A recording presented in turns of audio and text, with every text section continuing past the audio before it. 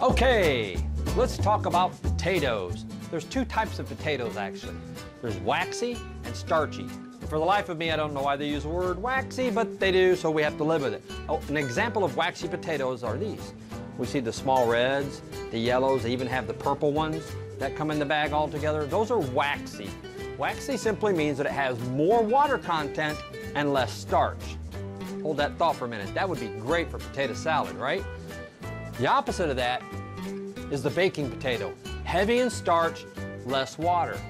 Easy way to remember is you want a french fry. Do you want it made with a potato that has a high water content? Or do you want it made with a potato that has low water content and it's gonna be nice and crunchy? Because we all love a crunchy french fry. Anyway, forget that.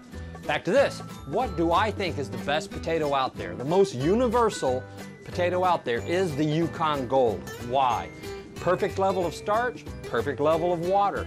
So what happens when the Yukon Gold is being boiled, the starch, the granules in the starch absorb the water and get fluffy, get big, and that makes perfect fluffy mashed potatoes. Now let's get on to a pet peeve. Ready? We've all seen this in the stores. There's different varieties. It really doesn't matter what the name is. They have all these containers telling you, new, microwave ready, the little potato company, blah, blah, blah. Doesn't matter really who it is, but I got a shocker for them. Potatoes can be microwaved for decades, uh, probably ever since they invented the microwave.